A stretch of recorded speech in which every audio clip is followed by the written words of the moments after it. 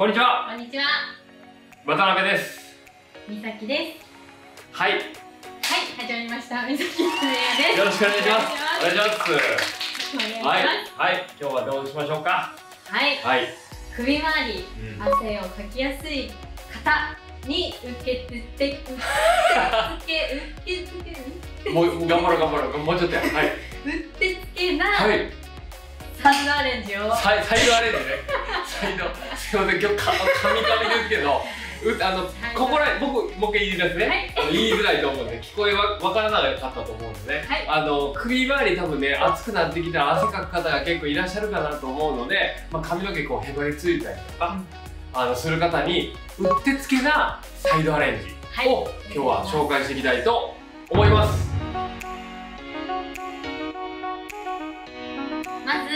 先を軽く巻いた状態です。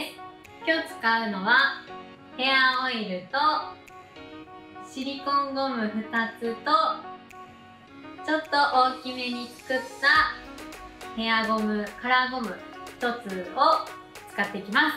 全体的にオイルをしっかりつけたらだいたい耳上のあたりから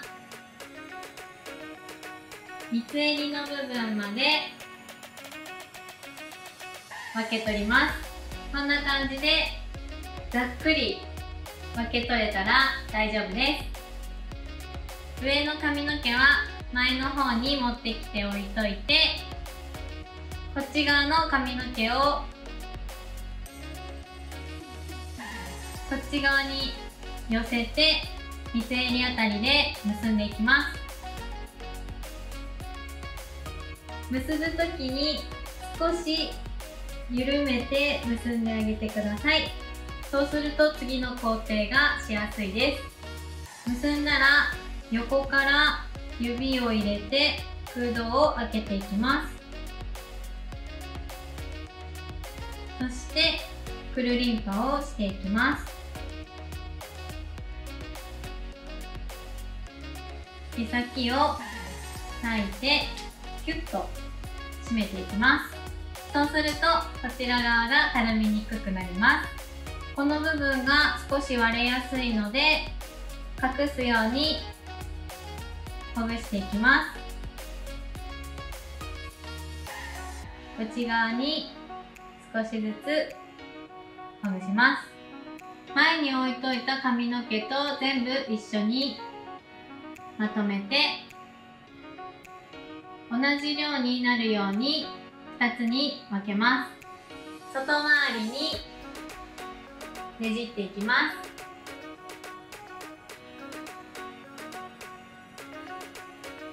少しきつめにねじってあげると緩んだ時にでかくなりにくいです。毛先をこのくらい余らせて巻き終えました。ここでゴムで結びます。結んだら手を離す前にほぐしていきますゴムの部分から少しずつほぐしていきますほぐす前に手を離してしまうとねじった部分が戻ってきてしまうので必ず手を離す前にほぐしてあげてください。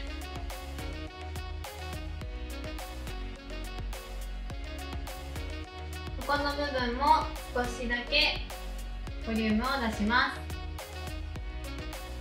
ここの部分は出しすぎには注意です。ここのゴムの部分が見えてしまうので上の髪の毛を下に引いていきます。隠れてくれたら OK です。ゴムを二重にしてからシリコンゴムを隠すように結んでいきます。少しずらしながら結んであげると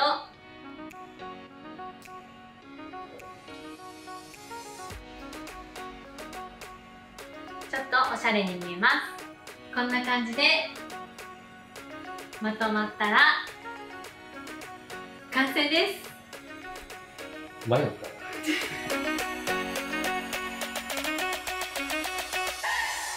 はいということでお疲れ様でした。やめてくださいそれはもお疲れ様でした。う映画館って言われてるな。はい。終わりやからねこれ。ねはいはいはいはい。今日のポイントは。何回やんねんそれ。あのはいはいそうはですいね。ポイントは、うん。えっと、サイドじゃない反対側の髪の毛をくるりんぱすることによってうん。うんたるみにくくて崩れにくいっていうのが一番のポイントです。まあちょっとこっち見てみだから反対ですよね。反対反対。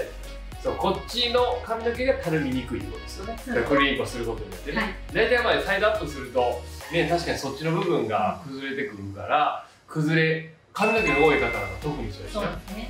うん、なんでそういうふうにやるとおすすめですよってことですよね。はい。あとはまあ首やっぱ暑いのでねちょっと涼しげに見えるアレンジになってるかなと思いますので暑くなってくる季節におすすめのサイドアレンジです。はい。よかったら参考にしてみてください。ぜひはい。やってみてください。はい。この動画が良かったらグッドボタンとあとチャンネル登録もよろしくお願いします。まはい。それではまた次回の動画でお会いしましょすバイバイ